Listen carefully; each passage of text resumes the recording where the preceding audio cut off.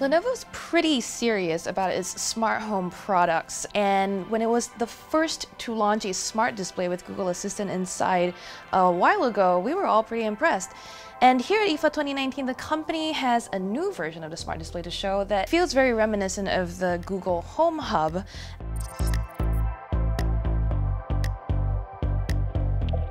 It's basically a 7-inch shrunken down version of what already exists as the Lenovo Smart Display. Those were 8-inch and 10-inch models. Here is a 7-inch version. So I'm going to compare this with the Home Hub, which is basically cost exactly the same and probably what you're going to be comparing it with too. This is a 7-inch Full HD-ish display that looks a lot glossier than I'm used to on my home hub. Uh, instead of having a surface that's more screen than anything else, the Lenovo Smart Display has a speaker that's firing forwards. So if you're here uh, trying to use this to watch a video and you want to hear the instructions more clearly, this might be better for you.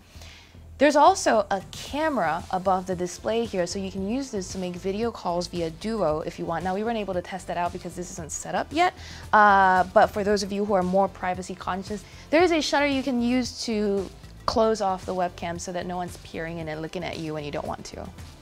Also, the processor here is a MediaTek processor compared to the Qualcomm ones that were on the 8 and 10 inch smart displays, uh, as well as what's on the Home Hub. So performance might be different. Uh, again, in day-to-day -day use, that's where it will show. For now, from our hands-on, we didn't notice a huge delay. Aside from that, this is basically the Home Hub like every other Google-based smart display you've used. We used it to ask for the weather. We used it to ask about the time in New York because we're in Germany and math is hard.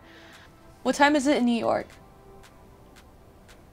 The time in New York, New York, USA is 8.14 a.m. We also used it to pull up YouTube videos of The Bachelor because I miss USA. Play Bachelor in Paradise on YouTube. Oh, oh, Dean's talking to Kate. Hey Google, stop! Sorry, I haven't seen this yet. Spoilers!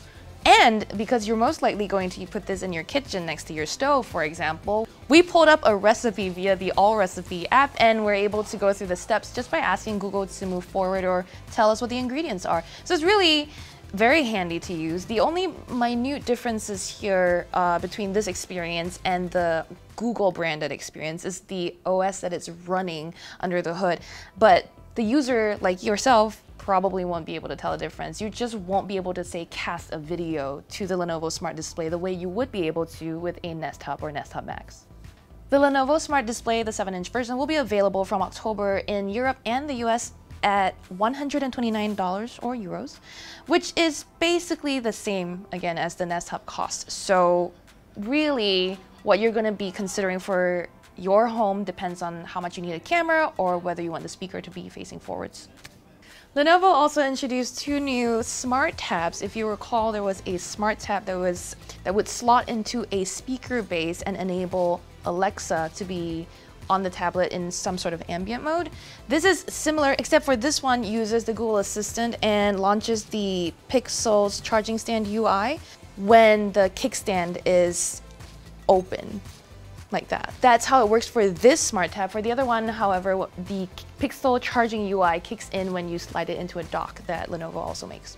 If these are more your speed, they're also available. This bigger one over here with the kickstand built in is available from September at 249, whereas the other one, which is basically a tablet that slides into a charging base, will start at 119 uh, in October. When they're not docked or when the kickstand is latched back in place though, these are basically your standard Android tablets.